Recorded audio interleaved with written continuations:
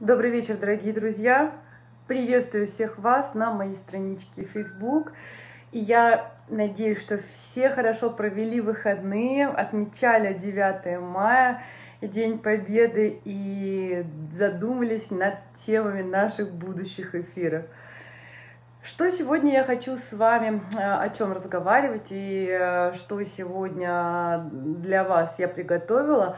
Э, проанализировав нашу предыдущую неделю, я получила большое количество вопросов всяческих, получила много комментариев, и я сегодня хотела бы поотвечать на эти вопросы, которые касаются темы репродукции, темы фертильности, темы восстановления после пиометра, а, и мы с вами не затронули тему, по которой тоже очень много было вопросов, это кесарево сечение. И сегодня, конечно, я расскажу детали касаемо коррекции по родовспоможению. У нас был большой блок по родовспоможению. А, и сегодня как раз моя а, информация вся для вас будет в основном основываться, базироваться на ваших запросах и ваших вопросах. Ну что, поехали. А, вопрос у нас по поводу пиометры. А, по поводу пиометры и по поводу контрацепции. Много, посмотрите в комментариях, очень много вопросов по поводу как раз медропета. Много негативного вы можете также найти по отзывам об этом препарате. К сожалению, медропет Э, я сама им никогда не пользовалась. Да, я вам говорила уже о том, что я не знаю, что это за препарат. Но мне достаточно было открыть просто-напросто то, из чего это все состоит, когда, но здесь никакой нет разницы, только разница в названии. Посмотрите концентрацию препарата, посмотрите то, как влияет этот препарат. И я против э, гормонов э, вот таким образом кошкам. К сожалению, даже разовая дача, купирование одной всего лишь течки может нести за собой очень печальные последствия, друзья. Это серьезные вещи, гормоналка, как раз именно эти препараты. Помним, да, что они вызывают очень большое количество а, опухолей железистых тканей, к сожалению. Это фиброаденомы, это фибромы. И как и у котов, так и у кошек. Конечно же, у кошек э, большая проблема с течками, но мы же с вами уже все обсудили на прошлой неделе, что мы делаем коррекцию. У нас есть другие вещи, чем более безопасные, чем мы делаем коррекцию. И вопрос в этой связи касаемо восстановления после этого медропета, в частности, как и после других а, контрацептивов. Есть жалобы, когда единственный раз купировали одну течку медропетом, то есть ну, небольшой промежуток времени э, как бы использовали, и два с половиной, три года, четыре года. Э, конечно, есть такие проблемы, что кошка не вяжется, то есть она просто пустует и мы не знаем причину. В идеале, конечно, разобраться, да, посмотреть по анализам крови, а, попробуйте подкорректировать, если нет возможности полностью обследовать кошку, попробуйте подкорректировать все-таки нашими волшебными стимуляционными схемами плюс дополнительная витаминизация, то есть как мы с вами все это рассматривали. Есть еще тоже вопрос. Кошка не рожает после четырех таблеток гистринола. А, что делать? По здоровью тоже все хорошо. Вот тоже делали обследование.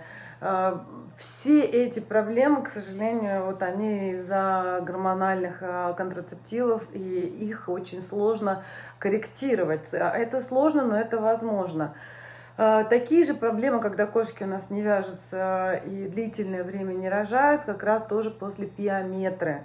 Биометра, как вы помните, она очень успешно лечится консервативно. Важно то делать все так, как положено, то есть не останавливаться на единичной разовой даче препаратов. То есть э, нельзя взять, там, купировать за неделю или там за две недели и все, и забыть на этом. Нет, это длительный период.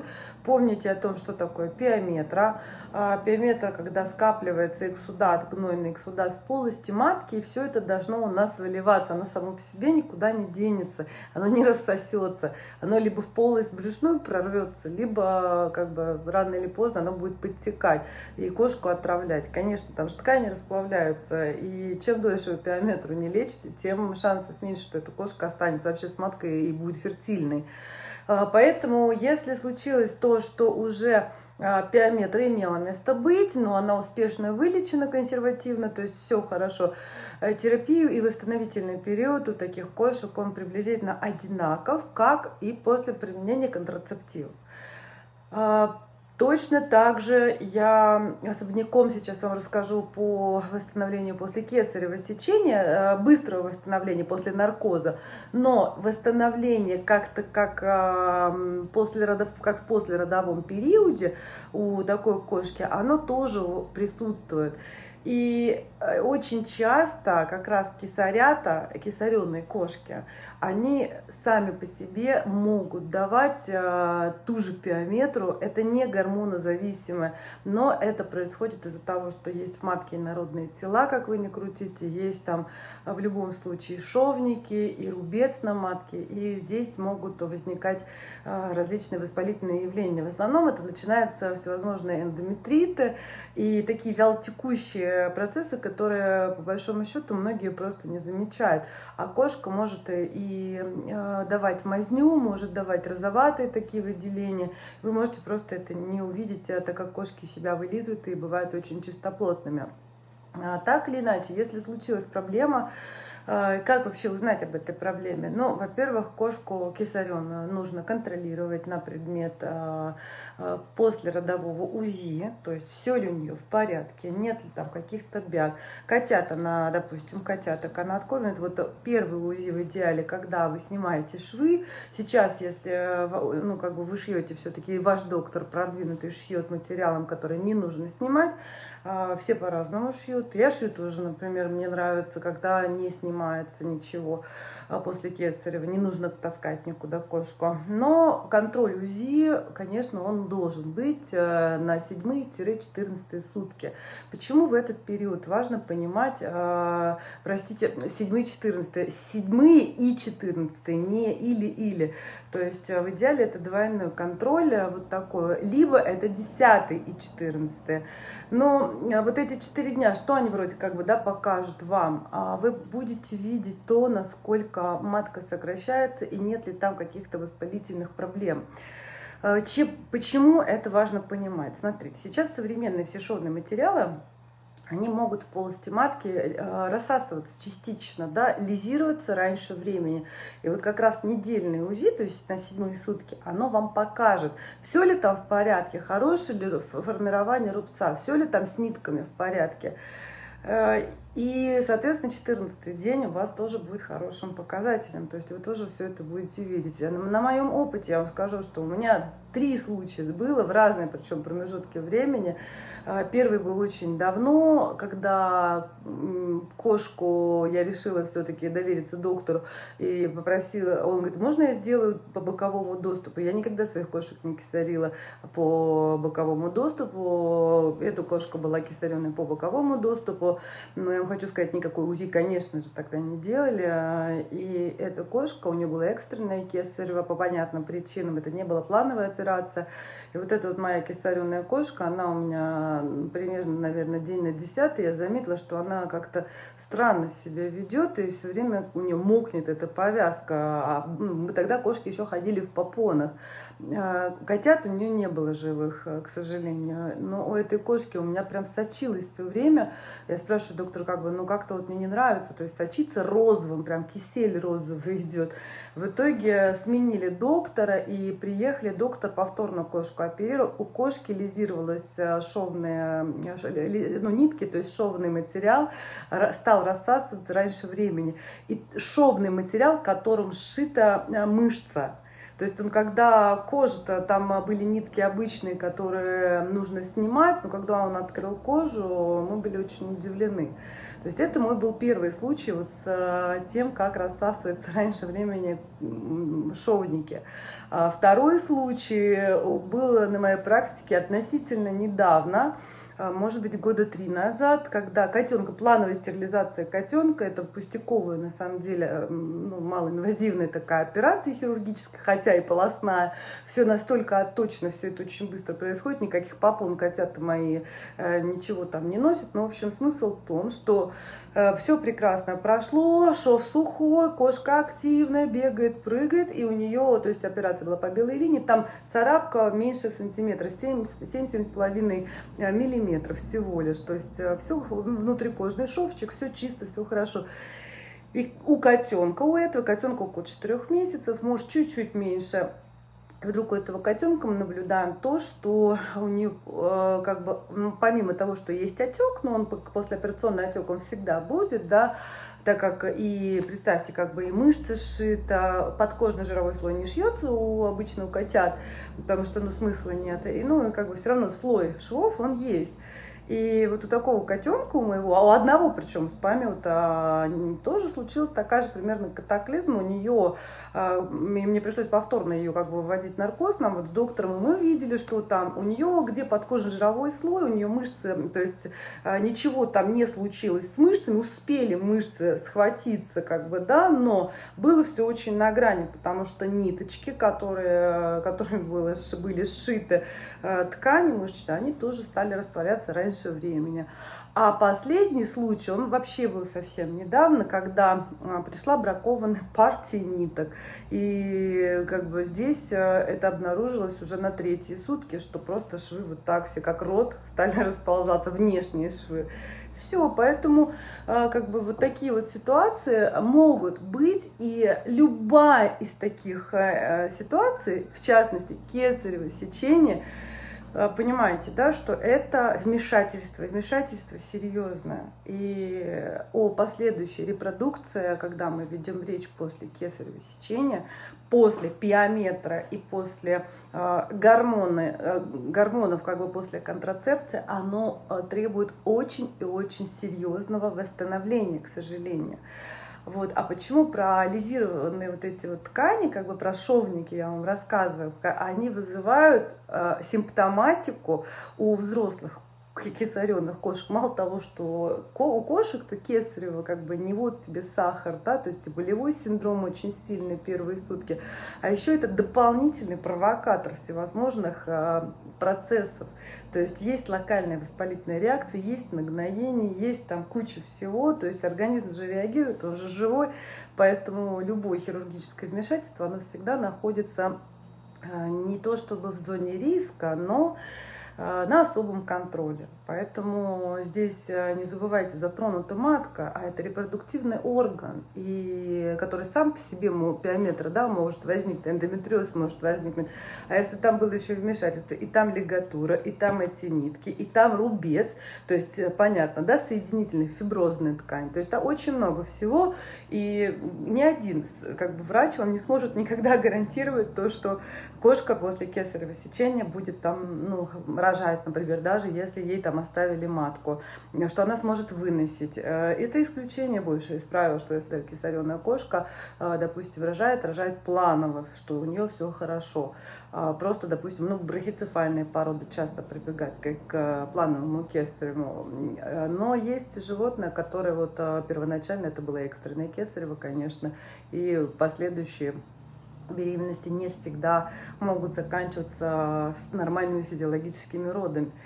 И вот а, как раз восстановление, сегодня мы обсудим по восстановлению, что нам надо делать, чего не надо делать. А, это интересно, интересная достаточно тема, которая очень актуальна для всех нас. И как раз вот в таком а, длительном восстановительном периоде мы должны понимать, что то, во-первых, должны знать, какая была терапия после кесарева или после пиометра.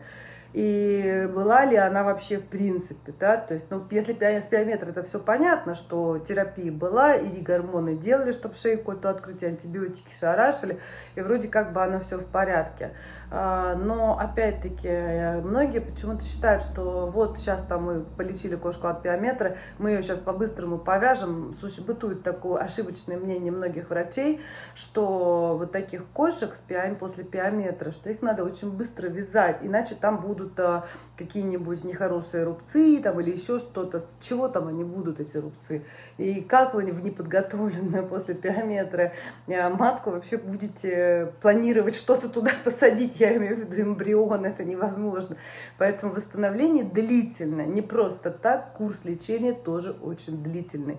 И в этот момент как раз когда у вас, э, если случилась такая проблемная кошка, э, ваша задача купировать прежде всего все ее хотелки. А кошки очень быстро забывают, что была какая-то с ее здоровьем неприятность, да, что там болезненные ощущения после, после той же пиометра, после кесарево сечения. Э, если на них воздействует свет солнечный, да, и день идет на увеличение, у кошки запускаются процессы, кошка говорит, ага, я сейчас хочу замуж, и мне надо детей срочно. Поэтому нужно сделать э, так, чтобы у кошки не было течек. Это будет очень хорошим помощником для вас и для кошки в ее фертильности будущей. То есть от этого напрямую зависит. Это очень важно. А, то есть помним, да, что мы корректируем светом и мелатонином. А, это прям вот очень важно. Второе, конечно, что мы делаем дополнительную подготовку, то есть а, мы кошку готовим к витаминизации. Поэтому прежде чем, не, торопитесь сделать стимуляцию. Вот сейчас там аварию мы поколем, вот э, простимулируем там месяц и все, и отправим ее вязаться. Нет, этого тоже будет недостаточно. Поэтому мы ее сначала будем восстанавливать, мы будем использовать, э, например, около двух месяцев витаминизацию этой кошки, будем подключать витамин А. а. Помним о том, да, что как бы мы его используем, потом мы его один исключаем и начинаем кошку стимулировать для того, чтобы она у нас э, в последующем повязалась. И как раз витамин А, он нужен обязательно в восстановительном периоде для того, чтобы у нас, э, если это кесарево, то образовался хороший, э, хорошая выстилка. На очень многие, на самом деле, обменные процессы реагирует. Это как бы провоцирует правильную регенерацию, будем так говорить, помогает совместно с витамином D, с витамином Е, конечно же. Еще, например, вот в таком восстановительном периоде, у меня, мне кажется, что я встречала уже в каком-то из вопросов, есть такой чудесный препарат, он тоже компании Хель, этот препарат называется мукоза композитум. То есть, что такое мукоза? Это гомеопатия, э, авариум композитум или композитум, как его да, по-разному называют на территории России. А, это из это одной фирмы препарат, откуда и траумель, собственно. Но что касается мукозы, мукоза интересный препарат, я его очень люблю, и его не используют в остром периоде. То есть, когда мы лечим пиометру, например, или когда мы кошку только после кесаря, вот только-только все случилось, то мы его не используем в остром периоде, мы его используем в периоде восстановления. Вот как раз он отторгает какие-то омертвевшие ткани, если они там есть, помогает регенерировать все это. То есть он как раз работает при а, вот таких травматичных, раневых, при некротических процессах, при гнойных процессах, но именно вот в когда уже идет реабилитация. Поэтому, если вы подключите, например, ту же мукозу, а, если... Что я подразумеваю по поводу пиометра, как бы острый период? То есть период изгнания эксудата, да, когда у нас матка полным-полна жидкости, когда это все нам с вами нужно убрать, все это нужно выгнать. Э, мы все это делаем с помощью, помним, да, ализина. Все это делается под прикрытием антибиотиков, противовоспалительных. Если есть температура, то понятно, что мы э, используем, безусловно, конечно же, жаропонижающий, нарокарп тоже. И мы делаем эту терапию. Но по схеме-то, помните, как мы применяем э, наш, например, наш ализин? То есть у нас он на седьмые, там, да, и на 14 сутки.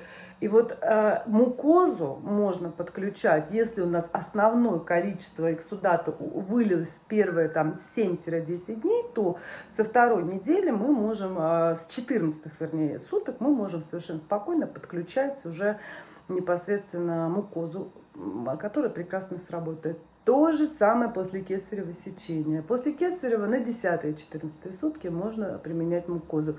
Мукоза применяется длительно. А, то есть она не сработает, если взять просто вот один раз сейчас как бы уколоть. Нет. А, там флакон, флакон очень удобный, и вы ее делаете в зависимости от веса кошки 0,1 на килограмм веса. А, не обязательно даже делать э, каждый день, вот достаточно делать э, через день, но у вас должно быть курс большой, примерно 15-20 инъекций, это минимум. Вот представьте, 20 инъекций, это уже 40 дней, если мы да, делаем через день. Вот на этом и основана, в принципе, вся гомеопатия, то есть это накопительный эффект. И мукоза в сочетании вот с остальными препаратами, она очень хорошо работает. А, Еще мне задавали вопрос касаемо препаратов. Я хотела бы тоже прокомментировать про это лекарство. А, препарат называется лахезис. Это Э, в общем, препарат не очень корректный для кошек по той причине, что он очень аллергичный. А, сделан он из яда змей, поэтому ну, дозировка у него гранулами. И их нельзя дать кошке по той причине, что кошка не будет у вас рассасывать это на языке. А второй, как я уже сказала, то есть это очень-очень высок порог а, аллергических реакций, очень высокий процент, так что не надо им рисковать а, ради получения какого-то мнимого результата, который не факт, что он у нас будет такой, какой нам нужен. И что я вам скажу, что как раз вот э, приблизительно одинаково у вас будет схема работать на восстановление и при кесаревом, и при пиометре, и при восстановлении, когда у нас есть какой-то воспалительный процесс э, после гормонотерапии, после э, контрацепции гормонами. То есть мы вот как раз вот это все и будем с вами делать. Витамины плюс э, та же мукоза и, конечно, вспомогательный наш следующим курсом э, в догонку мы э, помогаем как раз авариумам и авариовидам. Еще интересный вопрос у нас по поводу кесарево сечения. Чем облегчить состояние кошки после наркоза? А, очень часто после кесарева а, кошки не очень хорошо себя чувствуют. Ну, во-первых, наркоз а, и анестезию все врачи используют разную. А, есть э, анестезия, которая используется с антидотом, да, кошку очень быстро из этого состояния выводит.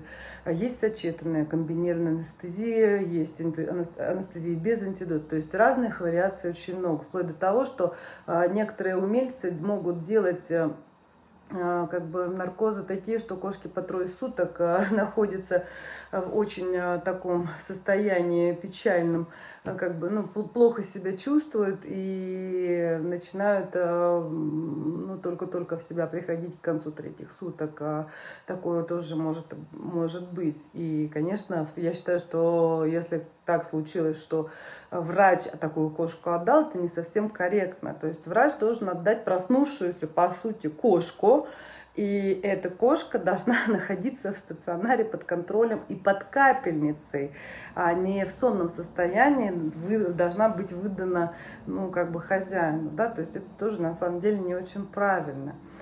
Но на практике э, это все показывается обратным, и поэтому часто владелец забирает спящую кошку после кесарева с этими котятами домой. Что его ждет? Кошка начинает отходить от наркоза. А, друзья мои, мы с вами в невадеквате находимся, когда мы после наркоза отходим. А что мы можем как кошка говорить? А, это животное, не нужно их очеловечивать. Им, да, им больно, но у них не соображают а, мозги еще после... То есть вот это наложение болевых ощущений, плюс чувство дискомфорта и опять-таки жжение в зоне рубца самого. Плюс если там какие-то попоны, повязки, это понятно, да, тоже есть сдавление, есть э, тянущее ощущение. Плюс, если это кесарево, опять-таки, да, что не забывайте, что у нас очень часто плоды-то извлечены уже, все, то есть резко как бы животик, животик у нас получается меньше, у нас и матка сокращается. Кошка же не проходила вот такой полноценный физиологический процесс родов, получается. То есть все вот эти факторы, они прямо влияют на то, как себя кошка ведет.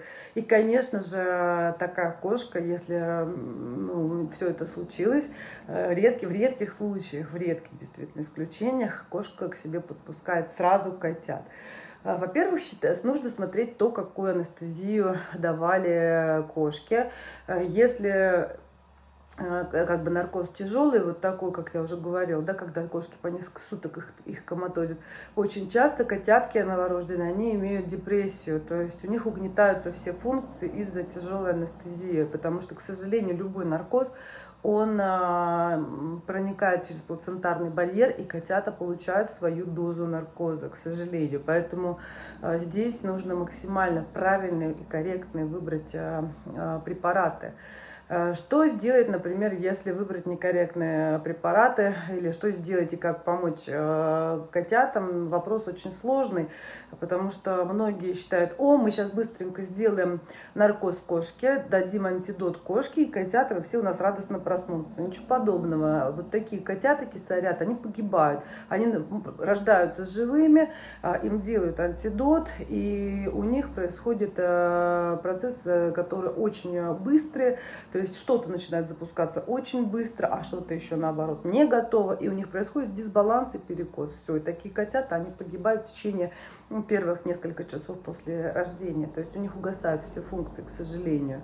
А, поэтому есть даже проблема с тем, что когда вот таким котятам вводят большую, большую дозу антидота, а, у котят а, начинает неправильно сама по себе кровь функционировать. То есть у них и бывает э, и повышается резко свертываемость крови, то есть нужно очень внимательно подбирать наркоз. Поэтому если вдруг вообще такое случилось, что надо кошку а, кисарить, а, что нужно врачу тоже сказать, что и спросить у него, чем он пользуется. Не бойтесь читать об этих препаратах. И доктор, кто знает, допустим, нормальный доктор, что знает, что для кесарева, для стерилизации это разные анестезии. А в государственной, например, лечебнице им вообще без разницы. Зачастую вот у нас, например, была раньше государственная лечебница, туда, кроме как за справками, люди никогда никакие не ходили, потому что, ну, к сожалению, это факт. Такое может быть, что просто животных гробили, поэтому да, нужно это учитывать. Э, конечно же, когда кошка отходит от наркоза, а, она нуждается в нашей с вами помощи. Конечно, это прежде всего купирование боли. Чем можно купировать боль у такой кошки? Никакие мы анальги, анальгины, баралгины, ничего мы это не делаем. А, есть прекрасные ветеринарные средства, тот же, например, нарокарп, который э, достаточно сильный препарат, он э, хорошо работает на купирование болевого синдрома, плюс э, это не стероидный противовоспалительный препарат, и он сам по себе очень э, хороший дает эффект. И для котят новорожденных он не вредный совершенно. Конечно же, если у вас есть кошка-кормилица, э, какая-то другая мамочка с котятами, э, вы можете дать этих котят всех кошки-кормилицы. Но вы можете, конечно, дать им там, чтобы они пару в первые там какие-то часы после рождения попытались как-то сосать эту кошку, чтобы получить первую порцию молозива. В случае, что это нормальные физиологичные э, котята и нормальная, э, нормальная беременность, то есть нет конфликта по группам крови, что все совместимо, просто есть вот какая-то экстренная ситуация, из-за которой случилось кесарево сечение. А, то есть да, можно дать, но Помните о том, что я вам сказала, котята, которые рождаются после кесарева, они, эти котятки-то, они тоже тормозные, то есть их нужно тоже э, раскачивать, и раскачивать достаточно серьезно. Помним о том, что у котят есть волшебная зона, которая находится вот здесь, ровно под, э, под носиком, между губой верхней, ну, центром, и прямо вот ровно под носом. Можно взять какой-то э, предмет, вплоть до, ну, как зубочистка, то есть он должен быть острый, но не должен травмировать. И просто нажать на несколько секунд, а, подержать. У них возбуждаются очень сильные рефлексы и дыхательные, э, дыхательные прежде всего рефлексы, что позволяет раскрыть легкие. И депрессия меньше шанс вообще ее получить.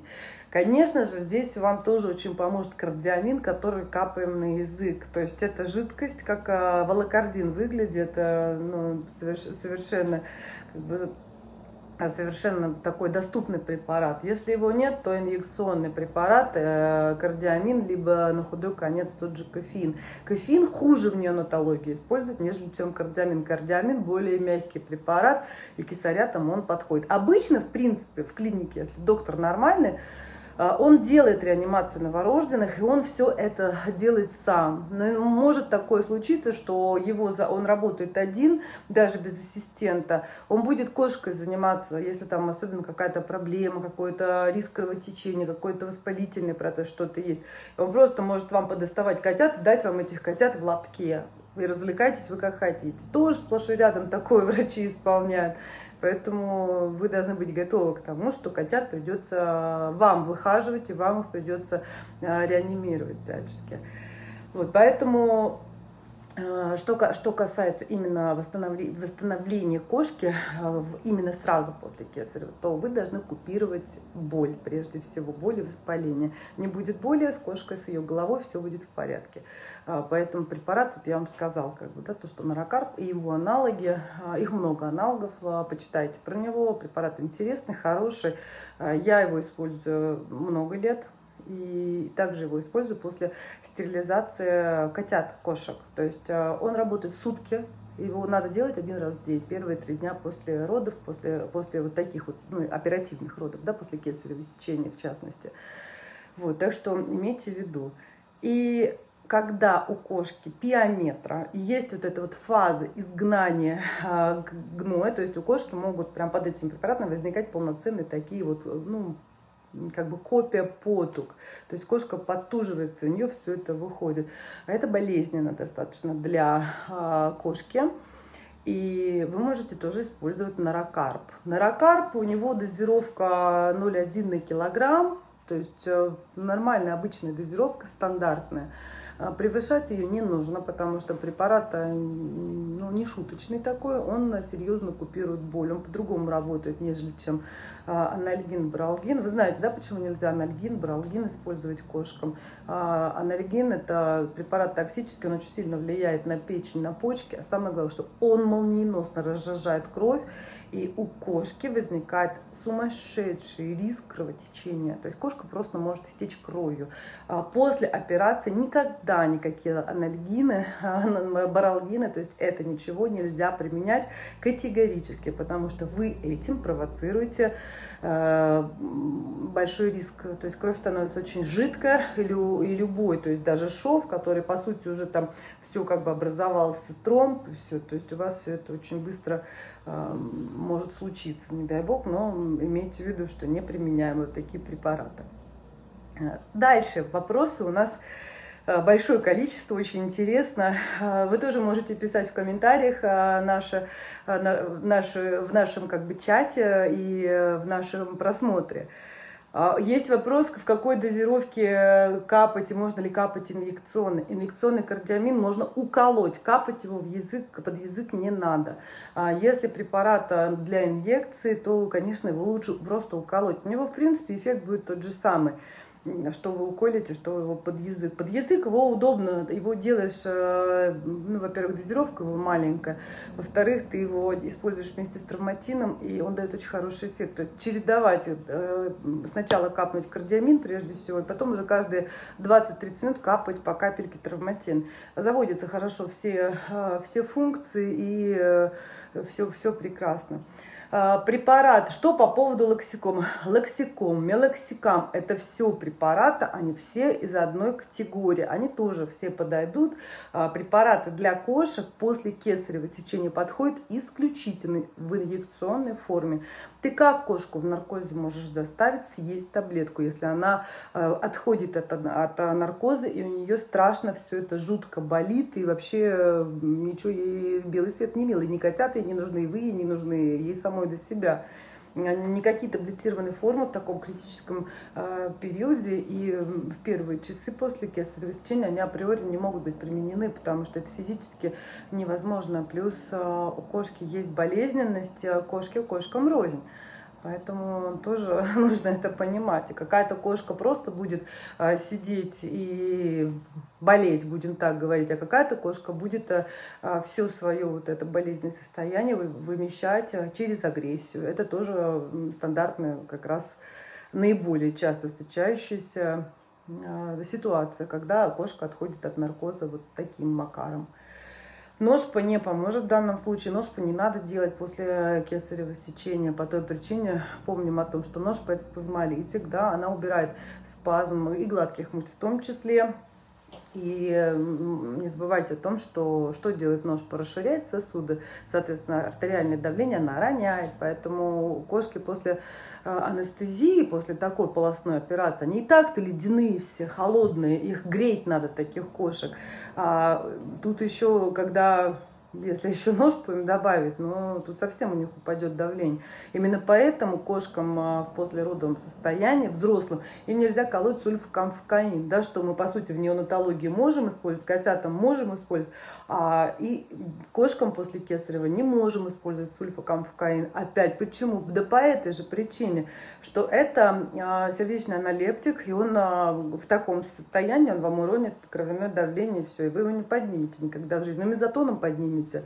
Но это мало поднять, это же еще стабилизировать нужно. А после кесарева сделать это сложно, потому что организм кошки находится под воздействием серьезных а, препаратов для общего наркоза, то есть для общей анестезии. Это же не просто так. Это выключается в голове, в мозгу, в кошачьем выключаются центры, которые ответственны за боль. То есть, да, плюс это миорелаксанты. Кошка не может пошевелить ни рукой, ни головой, потому что у нее все расслаблено. Помните, да, наверное, какие-нибудь старые фильмы про индейцев, когда они там ядом кураре стрелы обрабатывали и пуляли эти стрелы во врагов. Ну, вот и яд очень быстро действовал и обездвиживал. То есть э, человек не умирал, но он был неподвижен, потому что курары подобные вещества – это серьезная вещь. То есть парализует э, все, мы, мышцы не могут работать. Человек может находиться в сознании, но мышцы не работают. Это вот э, два, два отличия. Есть наркоза, есть, э, то есть есть э, анестезии, которые боль выключают, а есть препараты, которые выключают двигательную активность. И то, и другое применимо как раз при полостных операциях. Без миорелаксанта вы даже кошка будет в глубоком наркозе, у нее при любом прикосновении, допустим, к мышцам брюшной полости, у нее мышцы, они будут сокращаться, независимо от того, хотите вы этого или нет. А, поэтому, если вы не сделаете этого, ну, не вы, доктор, а, доктору будет крайне сложно оперировать, потому что он не сможет добиться правильно, правильного результата, то есть качественной работы не будет. И риск кровотечения очень велик без а, вот таких вещей интересных. Ну, такая как бы тема любопытная. Ну что, у нас есть еще замечательный как раз вопрос э, касаемо э, вот тоже кесарево сечения. Как быть, какой надрез, где какой разрез лучше.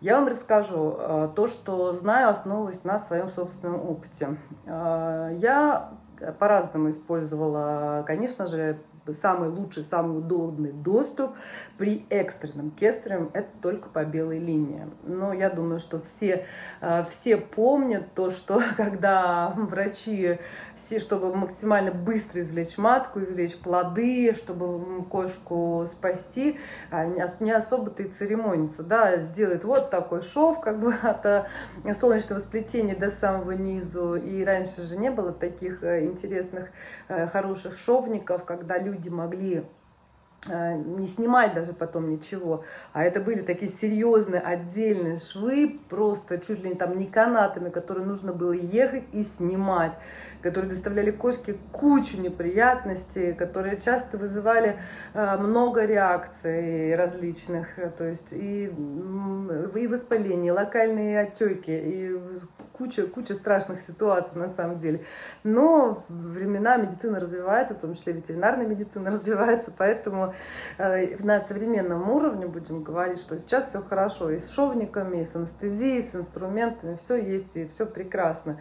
Ну, во-первых, конечно, в операциях используется коагулятор в основном. То есть люди, которые оперируют, они, даже если этот доктор работает на выезде, коагулятор – это прекрасная штука. А помните, у всех были в детстве выжигатели, мы по дереву выжигали. А, то есть, да, такая, такой аппарат, и у него нагревательный элемент, там игла или там шта, как штампик такой, вот у меня в детстве был, и мы там на досочках всяческие поделки делали в школе. И вот коагулятор, он очень похож по принципу работы, то есть его задача какая? А, поджарить сосуды, и из-за того, что они поджариваются, они сплавляются, то есть запаиваются, как пакет целлофана сарафановой, и у вас э, нет риска кровотечения, потому что зачастую, если с котами все с ними просто и понятно, то есть там настолько все, э, особенно если это котенок, настолько все там как бы примитивно, да, а, и вот есть кот, вот есть у него семейник, туда один сосуд подходит всего и один как бы семенной канатик, то есть все, там больше нет ничего. А у кошки это и матка рогатая, она иннервируется, то есть ее что-то питает, да, у нее из боков и снизу по телу матки идут два огромных просто сосуда, две крупные такие вот прям два шланга в оба рога. И сами яичники, не забывайте, они тоже находятся над рогами, и они находятся на связках, и они тоже обладают а, очень серьезной кровяной иннервацией. И вот как раз очень часто среди самых распространенных осложнений после кесарево сечения и после стерилизации это как раз риск кровотечения, именно кровотечение из, казалось бы, вот такой вроде бы э, убрали яичник, вот небольшой сосуд, и вроде бы лигатуру наложили, и все. То есть это же не как у крупных собак, у них культя, например, никуда не подшивается, культя матки, яичник, он убирается, связочка просто в брюшной полости свободно находится. И иногда как раз, а, если человек успевает сделать там анализ, заметить, что кошки там плохо, когда есть не полностью как бы сосуд а, у вас запаян, то есть может случиться, что начинает где-то, где-то потихонечку такое кровотечение. И на самом деле в редких случаях можно это вот обнаружить, обычно это быстро происходит, и животное просто погибает. Но может такое быть, что это все, эти процессы вялотекущие, и человек сразу замечает, что вот кошка после такой ситуации, плохо себя плохо себя почувствовала, стала грустной.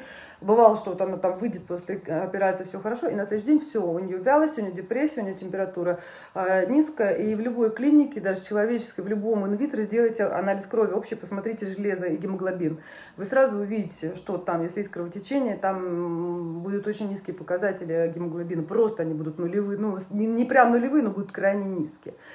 И, конечно, нужно срочно экстренные хирургические меры применять, кошку вести, срочно ее оперировать, искать, где там что, где что прорвало.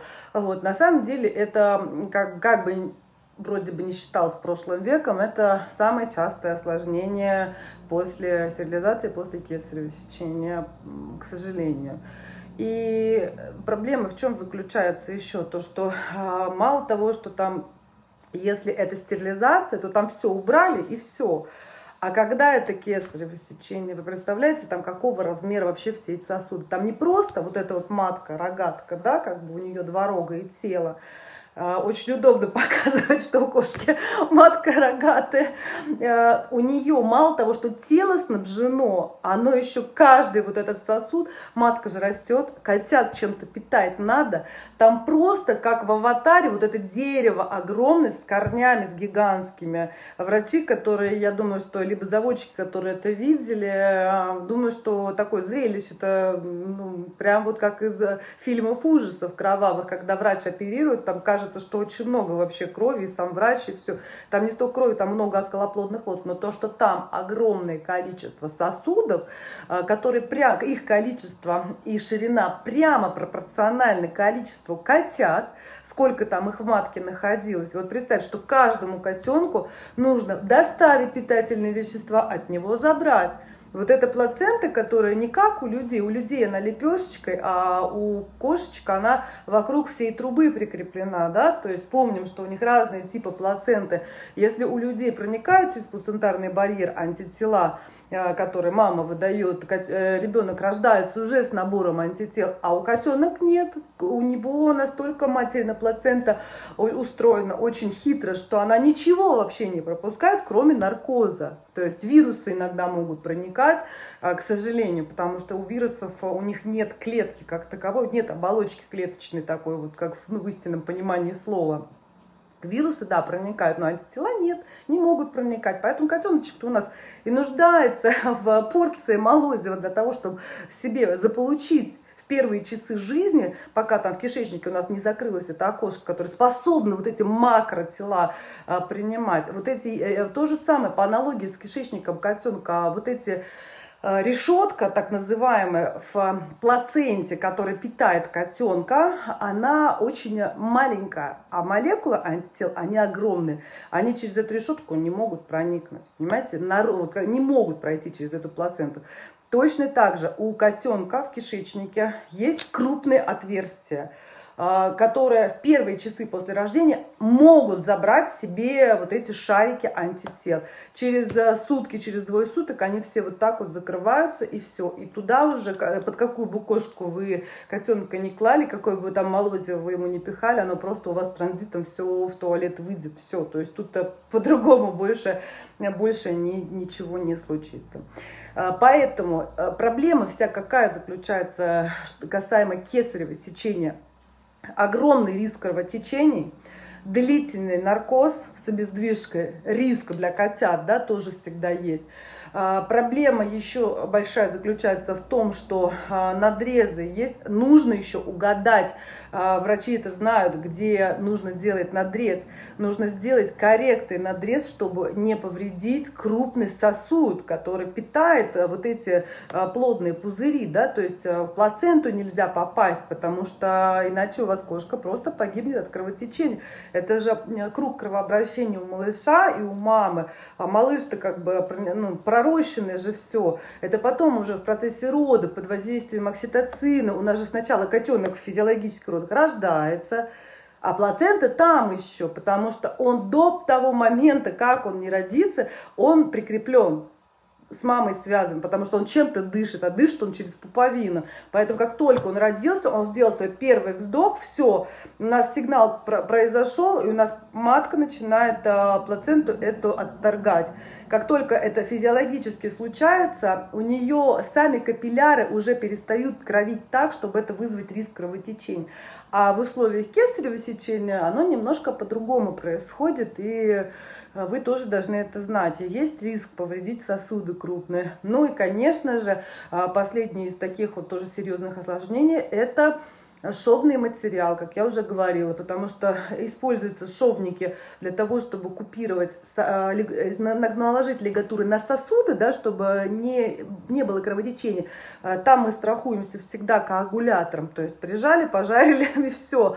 Но коагулировать мы не можем просто без лигатуры, то есть мы зашили и коагулировали. А на крупных вот таких вот э, кисаренных э, матках что нам делать? То есть мало того, что матка, когда извлекаются плоды, у нас а, в саму матку сразу колется окситоцин. Мы просто видим, как у нас сокращается эта матка у тебя на глазах. А доктор должен работать. Он должен корректно, быстренько все зашить, подлатать, чтобы и еще кровоостанавливающие препараты наколоть, понимаете? А если там еще, простите, были мертвые плоды, уже такие трупы со стажем, как я их называю, это же все еще почистить надо успеть, чтобы, это, чтобы никакого инфицирования не было, чтобы перитонит не развился. Перитонит это редко достаточно происходит, э, слава богу, в современном мире. Больше, по большей части происходит именно риска отторжения шовного материала и риска локальной местной аллергической реакции плюс травматический отек. Ну, а, как бы есть раны, а, которые грязные раны, а есть хирургические раны, которые вот после скальпеля. Но так или иначе, это травма, будем так говорить, да, на пальцах.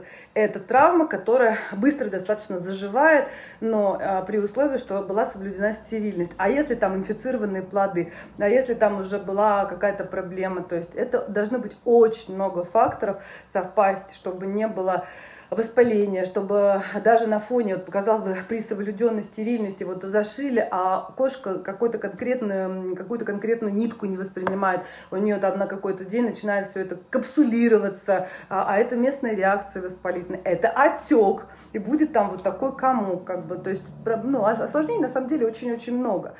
И вопрос в чем заключается, что если вы пережили а, со своей кошкой кесарево сечение, и, конечно же, мы заводчики, мы должны понимать, а, по какой причине было сделано кесарево. А, вот давайте я вам в двух словах расскажу. Надо оставлять там матку или нет, в каком случае. В случае, когда вы знаете о том, что кесарево это случилось экстренно, по причине того, что, например, застрял плод, крупный плод застрял.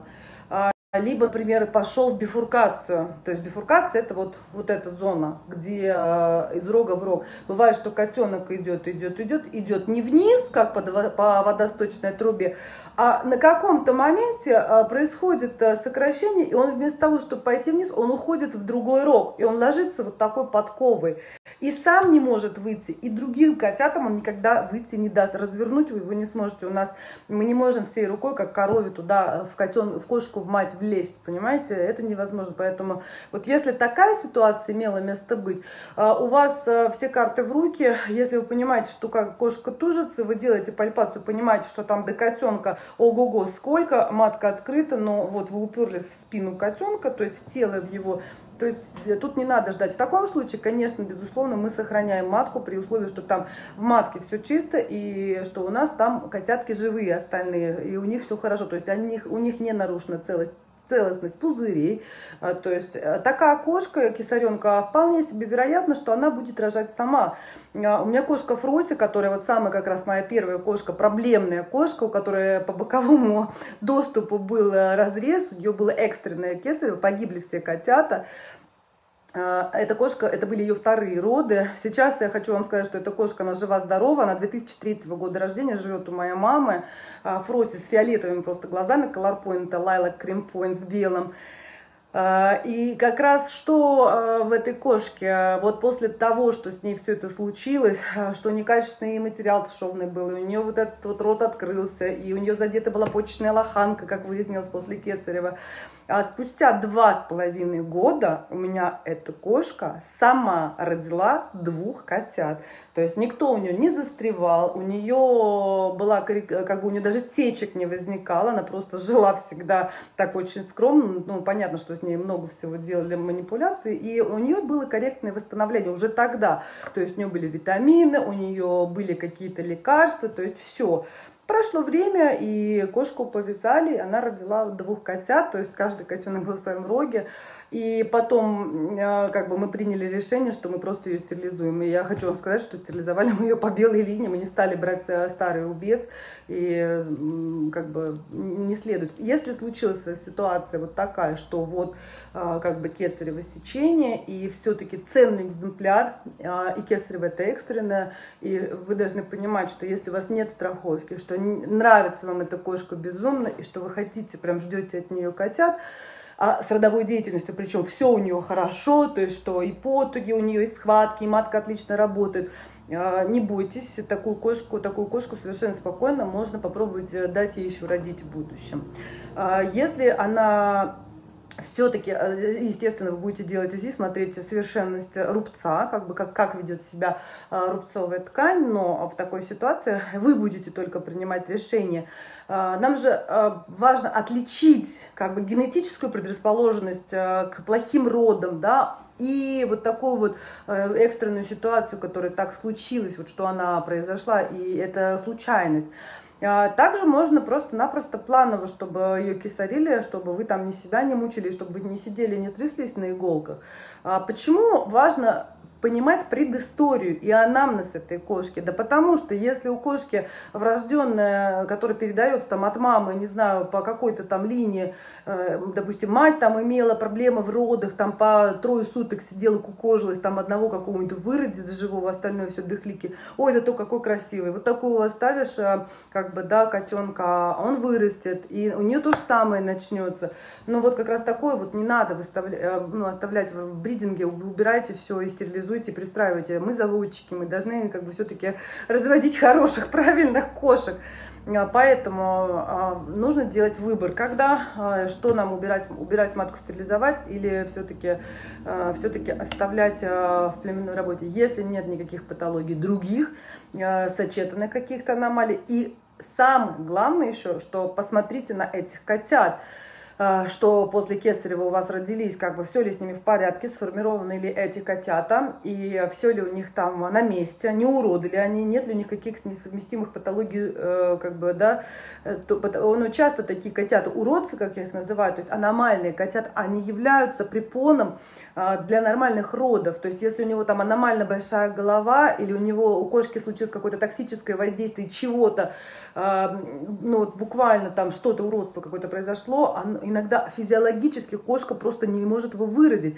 А, притом даже может такое случиться, что не, не, не легли крови, еще раз говорю, то есть какое-то воздействие извне, там может быть кошка переболеть чем угодно на первом триместре, а, и у вас там как бы можете получить кучу всего. И это не показатель, да, с одной стороны, то есть мы знаем, что это не врожденная аномалия, особенно если это кошка а, все-таки уже у вас рожала до этого сама, и мы знаем, что все там хорошо, просто достаточно оставить матку и поменять кота, производителя, попробовать сделать другую вязку.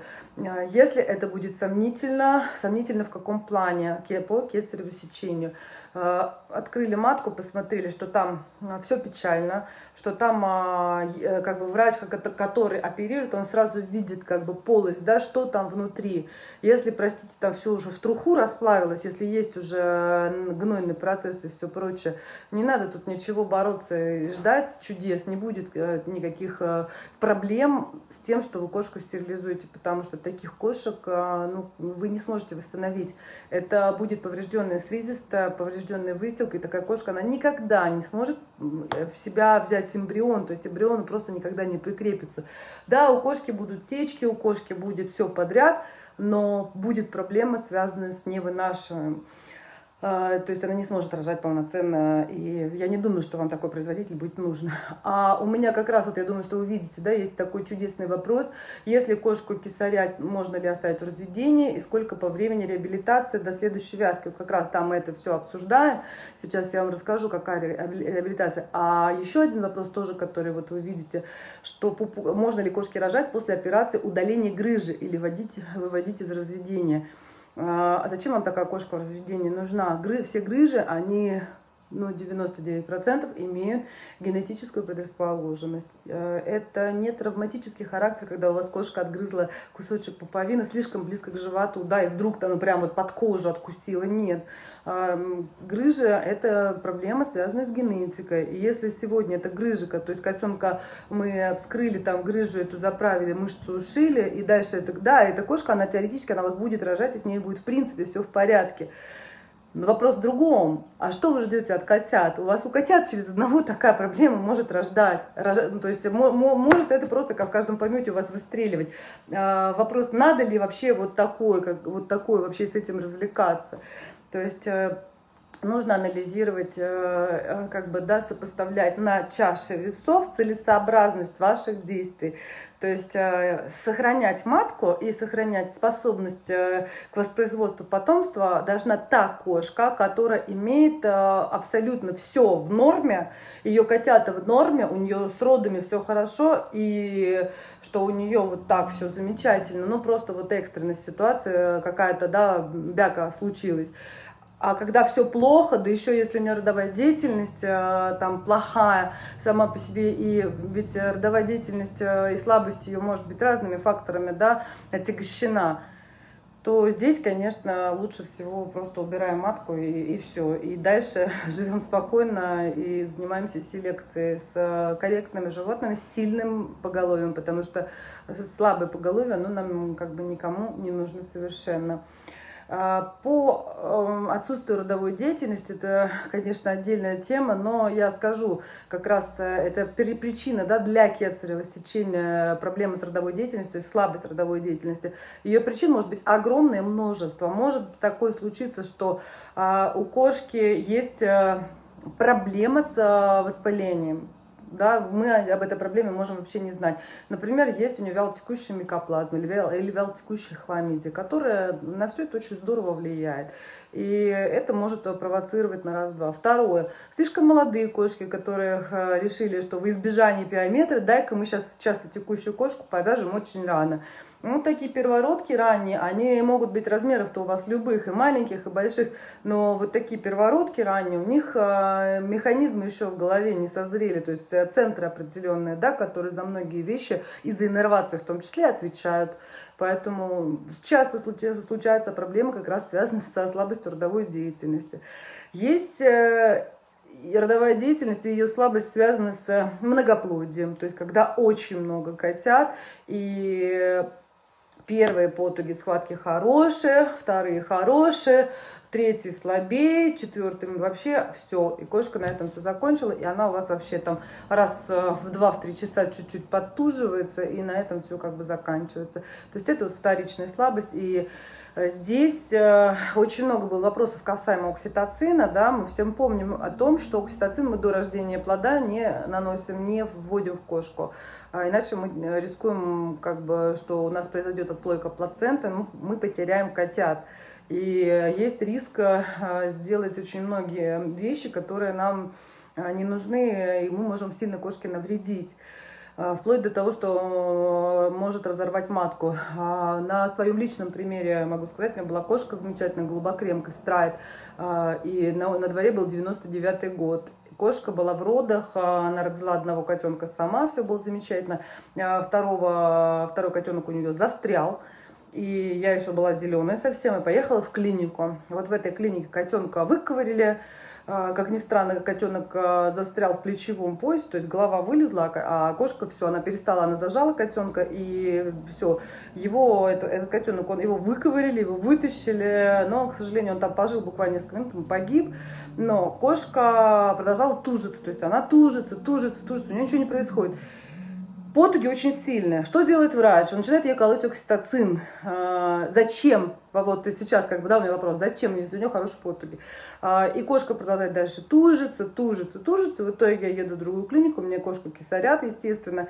И эм, я в шоке, конечно, что там два котенка плавают в брюшной полости между кишок. А, то есть рог матки просто его разорвало около яичника, выход из яичника, и все. Как бы. Зачем кошку нагружать окситоцином? Поэтому вот сегодня как раз э, в комментариях э, э, я для себя распечатала а, был интересный вопрос. Как раз в родовой деятельности, то есть кошка вроде бы там каких-то котят родила, был, был достаточно большой перерыв, там, допустим, стали стимулировать. Послушайте, в каких дозах. 0,5, запятая, через 20 минут 0,7, еще через 20 минут 0,7 и еще через 20 минут один кубик. Вы знаете, что в такой ситуации происходит в таких лошадиных дозах? У кошки вообще просто останавливается родовая деятельность, просто от слова совсем. Кошка перестает рожать это передоз окситоцина. Такая доза э, не может присутствовать в родах вообще. Это слишком крутая доза, и для того, чтобы изгнать плоды, э, она не подходит, эта доза. А, поэтому в таком случае лучше сработает а, схема с маленькими дозами, то есть 0,2, 0,3, 0,4 это предельно допустимая разовая доза у кошки, даже если это кошка породы Мейнкуна гигант просто. Это не надо миллилитр, это человеку, представьте, если 5 а, международных единиц в кубике, то есть человеку колят в родах и после родов 1 миллилитр это как вы себе представите, а вы в 5-килограммовую кошку пытаетесь это вогнать. Неудивительно, что ну, такая кошка, она по-другому совершенно среагировала. А, опасен, еще раз повторю, окситоцин крайне опасен тем, что он рвет матки в хлам, и он а, провоцирует атонию, то есть кардинально диаметрально противоположно, не сокращает, а атонию, то есть матка становится такая пух, как тряпка, и она перестает реагировать вообще на что-либо. Поэтому как бы вот именно применение окситоцинового просто вы можете очень сильно навредить такой кошке. А, лучше всего работает схема с кальцием и с глюкозой, а, конечно же. А еще не нужно забывать о том, что разные линии а, по-разному рожают. У нас как раз вот про кесаренку, про которую я сегодня вам рассказываю, она и кошка с 2003 года рождения. А мамаша ее очень известная кошка, которую звали Череп. Она у всех практически российских скотишеводов есть родословный. Румфолд Без Бьюти. Это кошечка. Она 2001 года рождения, это Без Бьюти. Uh, у нее домашний им был череп. Не от, не от того, что она страшная, а у нее но от того, что она была черепахой, и дети назвали ее. Так вот, вот этот череп, она у меня рожала по трое суток иногда. Она была многоплодной кошкой, uh, то есть у нее э, роды длились. Она могла родить э, трех котят, и все, и дальше пойти есть, пойти котят этих кормить и играть. Она, если увидит комара или муху, у нее ее тихо вообще трясло. А через 2-3 дня она могла еще двух выродить котят, совершенно живых, здоровых. А, как бы кошка очень крепкая по иммунке, по своей, и поленом не убьешь. То есть я очень люблю эту линию как раз именно из-за ее хорошего иммунитета и хороших а, вообще таких цеплючих способностей за жизнь. Но и, и она сама и ее дети, в частности, вот эта вот Фрося, которая 2002, 2003 а, года рождения, которая моя мама до сих пор живет, которая кисаренная, с проблемой, с, с, с просто как рот у нее там все швы, все, как бы, грубо говоря, все наружу, а эта кошка спустя два года рожает сама. Слава богу, что просто ей вот, а, ну, было отведено родить этих двух котят, а если бы у нее было восемь, то она бы их рожала, наверное, неделю. Два, через день еще два, ну, то есть а потом у нас есть эта линия, и Big Boss, у нас есть и Duran Duran, это дочка уже Big Boss, Дуня, известная моя вот эта хитрая кастратка, черная дымная черепаха, э, которая воспитывает, грумерская воспитательница, которая у нас артистка, вплоть на сцене выступать. Вот как раз тоже из этой же серии, то есть э, кошки такие способные, если это генетически заложено, и вы знаете об особенностях линиях, этих линий. Не надо нестись в клинику, и если у кошки все хорошо, она не проявляет беспокойства, если вы знаете, вот она у вас там родила, и дайте вы ей отдохнуть, это физиологический отдых, предусмотренный природой. В дикой природе кошки тоже не всегда рожают а вот так, а взял, родил и все. Если котят больше, чем 4, как правило, это стандартное деление на два таких а, как будто бы различных процесса. То есть это очень часто происходит, и оно закрепляется, не то что закрепляется, оно наследуется генетически. То есть если такая кошка-мать, то у нее большинство кошек девочек будут точно так же рожать э, с такими же большими перерывами. Это нехорошо, это неплохо. И важно тонко чувствовать и видеть то, как кошка себя ведет. Если она у вас э, лежит э, с котятами, себя облизывает, вот это то, что она начинает себя облизывать, котят облизывать, это очень хороший показатель, что э, вы, как бы все-таки э, ну, имеете правильную кошку.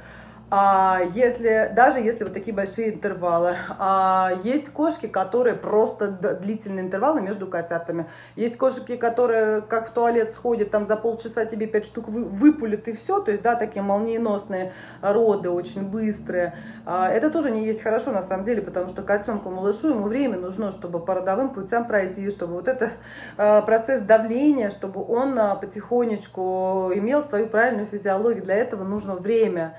А если этого не происходит, то как раз вот при молниеносных родах 25% а, котят, а, как правило, погибают. То есть четверть котят в молниеносных родах имеют а, смертность. И смертность не в ранний неонатальный период, а смертность, которая наступает, начиная там, ну, где-то с двух с половиной трех недель до полутора месяцев, как ни странно.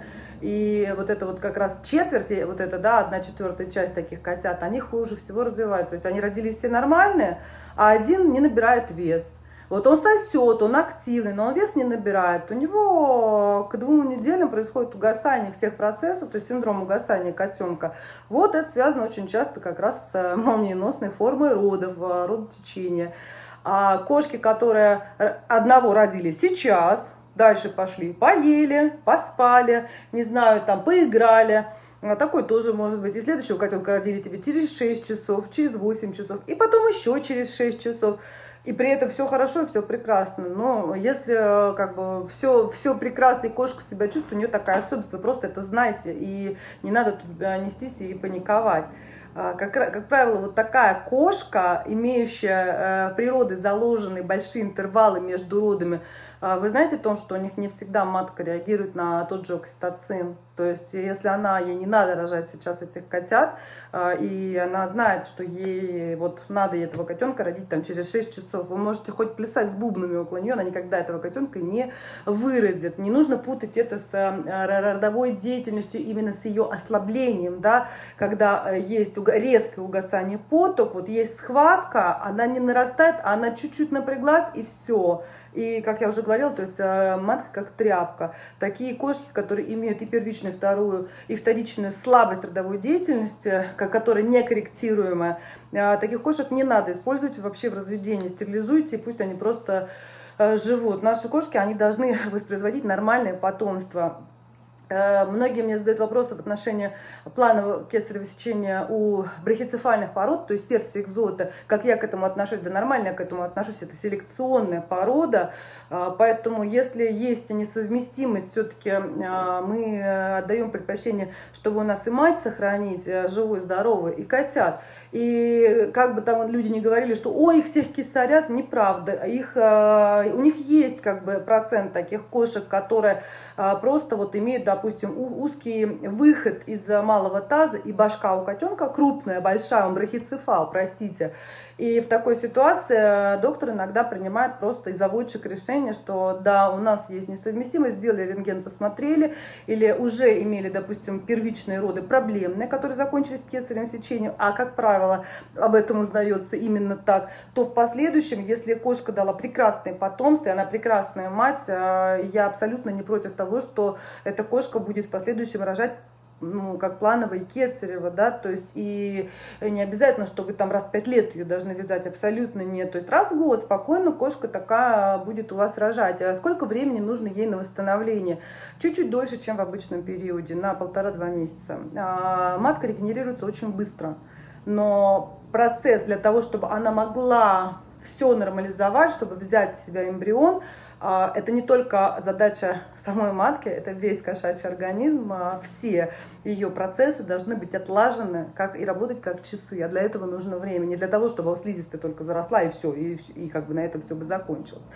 А, поэтому кошке для восстановления нужно порядка где-то ну, 7-8 месяцев после кесаря. После этого спокойно ее можно попробовать повязать то есть от момента Кесарева до э, момента э, предполагаемых э, последующих родов должен пройти приблизительно календарный год. Поэтому это совершенно нормально, что после кесарева, чтобы у кошки, то все то же самое, как и после пиометра. После кесарева сечения мы кошку что делаем? Корректируем. Но не гормонами, контрасексом или перлутексом, да, а мы корректируем ее мелатонином и убираем от нее свет. Для того, чтобы кошка могла в полной мере набраться сил, набраться витамин. То есть мы используем схемы. Плюс потом, а перед родами, то есть примерно там как бы за два месяца до предполагаемой вязки, все, пожалуйста, начинайте стимулировать и вяжите кошку, и все будет прекрасно. И такие кошки, они очень хорошо и рожают, и кормят, и все, все в этом плане плане становится э, хорошо. А, и что касается как раз вот а, по поводу операционного доступа, все-таки какой разрез у нас лучше сбоку или по белой линии? Я как медик вам, я не ветеринар, но я имею медицинское образование, как медик я могу сказать, что по белой линии это самый безболезненный э, вообще сам по себе рубец. Объясню почему. Смотрите, анатомию все помним. Качков все видели, конкурсы бодибилдеров на животе и у нас с вами, и у кошек, и у собак. А, ровно по центру, где вот эти желанные кубики пресса, есть такая полоска белая, которая не просто так называется белые линии. Почему это белые линии так называется? Что это такое? Это ткань, которая похожа на сухожилие, то есть такая а, длинная веревка на которой нет нервов, то есть она не болит никогда и к которой крепятся мышцы. То есть, когда мы делаем разрез по белой линии, всего лишь открывается кожа, она и там сбоку откроется, и здесь. А, здесь большой подкожно-жировой слой. Который э, можно просто раздвинуть, не, не обязательно его там прям вот пилить.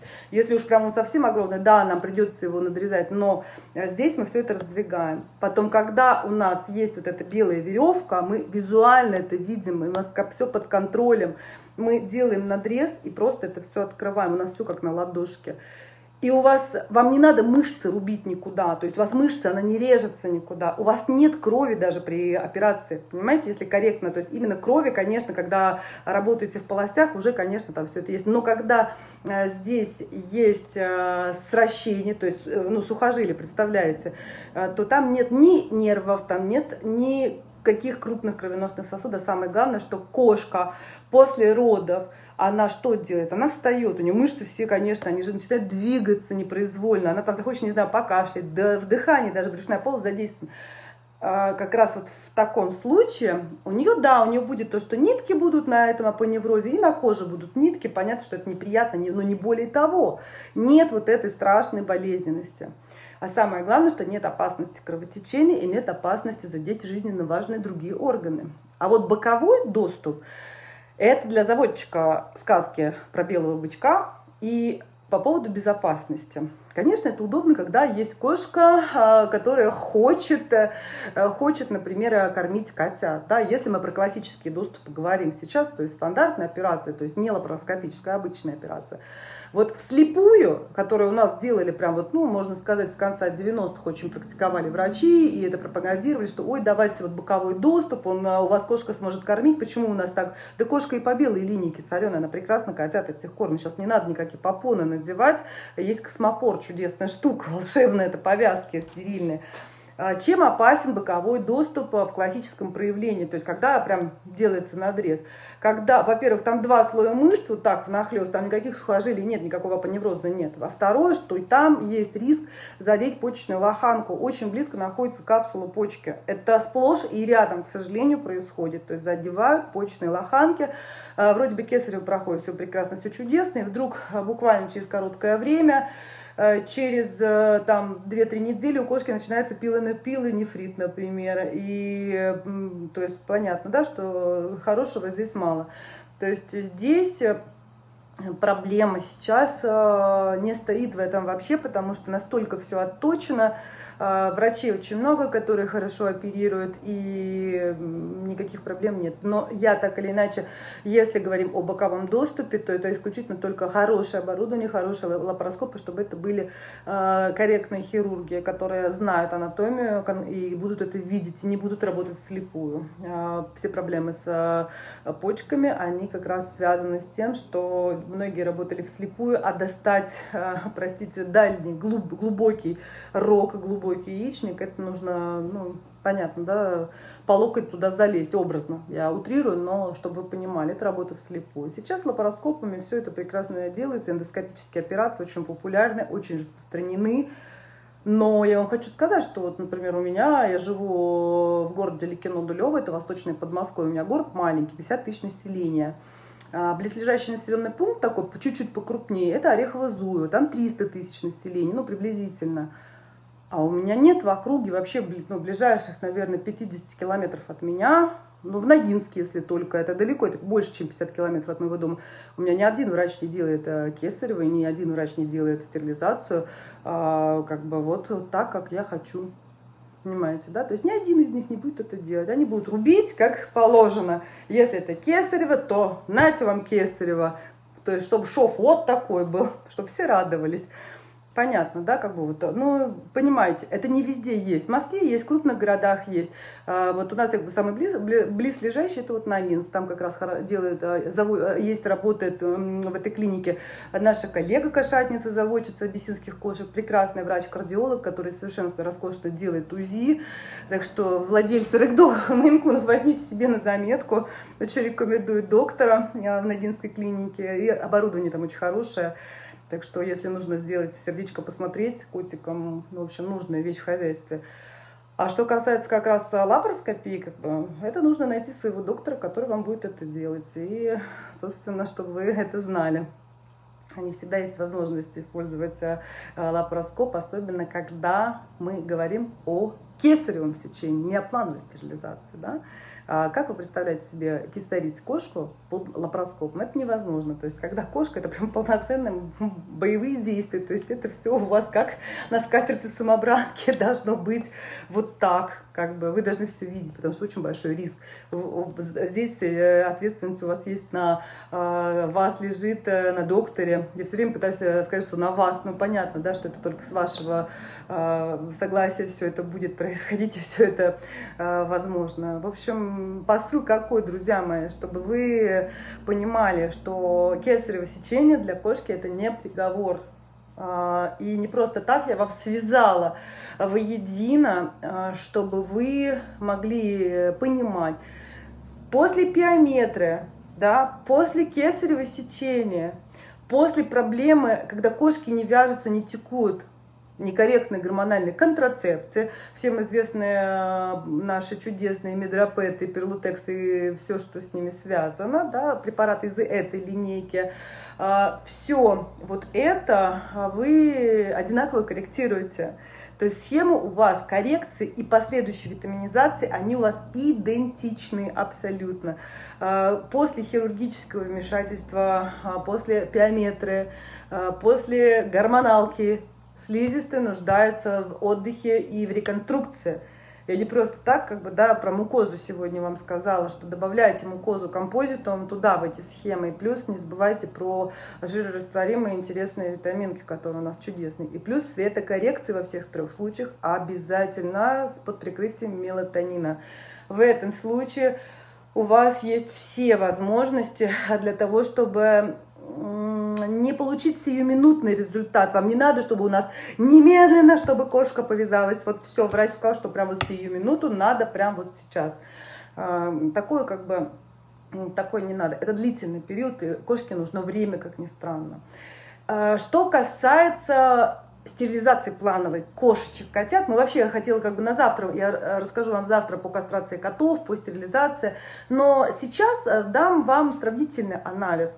Что касается стерилизации кошек, вот смотрите, мы стерилизуем кошек в питомнике, когда 900 грамм, там, да, 900-950 грамм а, кошки исполняется по весу, не по возрасту, по весу, но возраст это примерно, ну, с 3 до 4 месяцев, вот в этот интервал. И чем все удобно? Во-первых, риск кровотечения минимален. А мы используем коагулятор, мы используем вот такусенькие, тонюсенькие ниточки. Все у нас чудесно заживает, у нас никаких отеков нет. А самое главное, это же не кесарево, не кесарево. Нам не надо преодолевать э, как бы никакой плацентарной барьер, потому что его нет, это котенок. Поэтому таким котятам используется чудесная совершенно анестезия с выходом, с антидотом.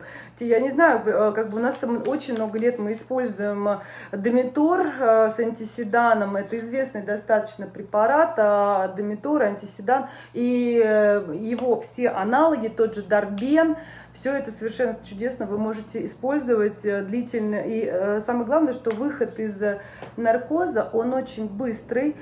Э, если вы вводите антидот капельно, то есть ну, капает препарата, то у нас нейтрализация как бы, вещества, анестетика происходит за буквально несколько, несколько секунд.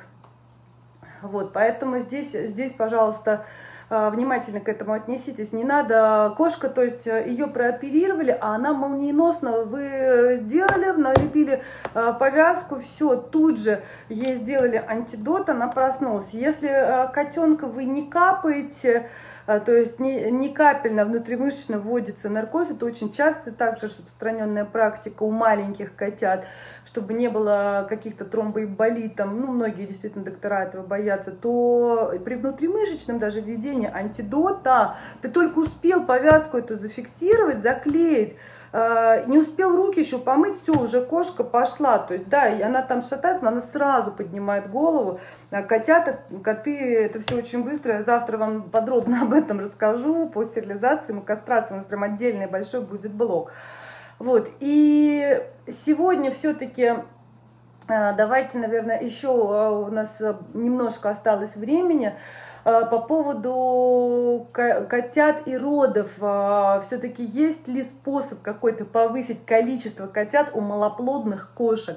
Здесь нужно заниматься а, конкретно обследованием данной кошки. Есть две вещи, влияющие на фертильность. Вещь номер один – это генетика, которую никто не отменял. Есть кошка, которая, ее мама родила ее одну, ее бабушка родила одного либо двух котят. То есть есть генетическая предрасположенность, да, а, как бы много ли котят будет. И каждое последующее поколение, оно может меняться в сторону увеличения или в сторону минимизации, потому что коты-то производители, они привносят а, другой генетический набор сюда. Поэтому вы тоже должны знать о том, что котенок, кошка, он же не только от мамы все это берет, он же 50, 50-50. А, поэтому от такой малоплодной кошки иногда может случиться, что, конечно, кошка имеет набор э, генов от папы, она прекрасно рожает и много рожает котят. Здесь очень много может э, быть таких генетических сюрпризов. А второе, вторая вещь, э, которая, э, которая на самом деле тоже как бы будет являться показателем фертильности, это ее физиологическое состояние. Даже то, что, помните, да, когда мы иерархию с вами рассматривали, есть подавляющая какая-то кошка-самка, которая прессует определенный социальный слой своих подруг, так называемых. И такие кошки либо они не рожают, являются нянечками, либо они рожают, допустим, по одному котенку, и котята очень часто не жизнеспособны.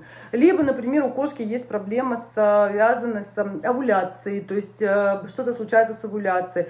Э, либо это может быть связано с количеством э, фолликул да, в яичнике, то есть количество яйцеклеточек, сколько природы есть заложено. Опять-таки, эта кошка может случиться с тем, что индукция беременности, а, а в частности привязки, когда есть индукция овуляции, когда вот а, яйцеклетка для того, чтобы она вышла, а, кот должен не просто войти в кошку, а должен свои зонтики раскрыть шипы.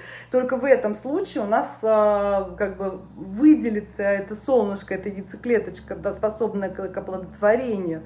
Но иногда не от кошки зависит, а зависит от кота. То есть если кот, допустим, под долгое время находился под суприларином, у них шипики, они редуцируются, и потом долгое время они возобновляются.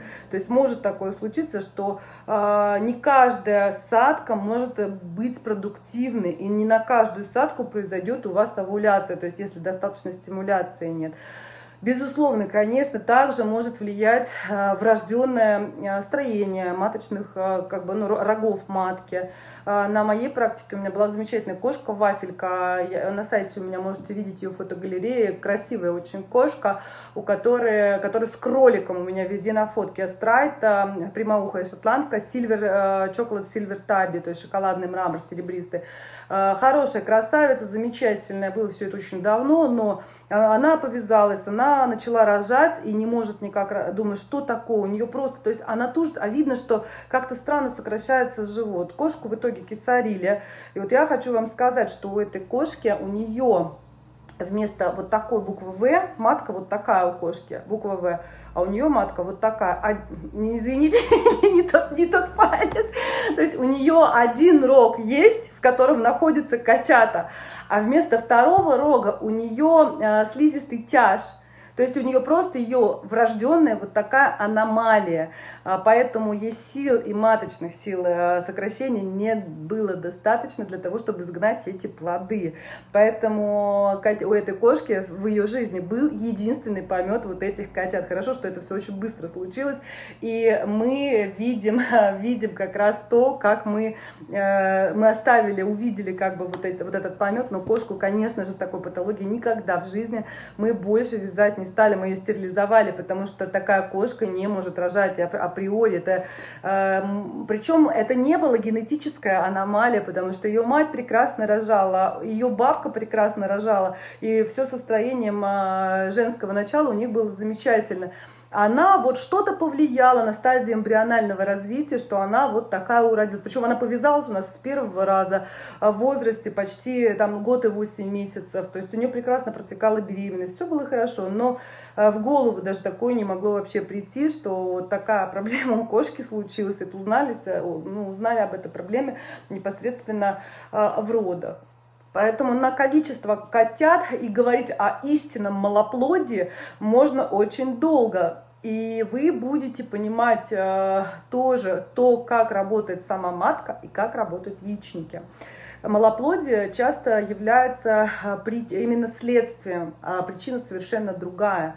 Например, кошка рожала, все было замечательно, много котят, потом получила контрацептивы, покормили ее перлутексом, допустим, или там ковинаном укололи, а, прошло время и 2, и 3 года, вот такие кошки очень часто либо пустуют долгое время, много вязок имеют, пустых, пустых, пустых, либо они становятся малоплодными. То есть э, почему? Потому что это не связано с, обычно со, с самой маткой, да, это очень часто связано с яичниками, потому что гормоны, которыми мы кормим кошек, которые нельзя вообще ни, ни при каких обстоятельствах делать, если мы за вами заводчики, э, то у нас они влияют на что? На железистую ткань. Яичники что? Это железа, которая продуцирует не только а, вот эти яйцеклеточки у нас, она еще, простите, продуцирует желтые тела, да, что сохраняет беременность у нас. Это гормоны продуцируются яичниками.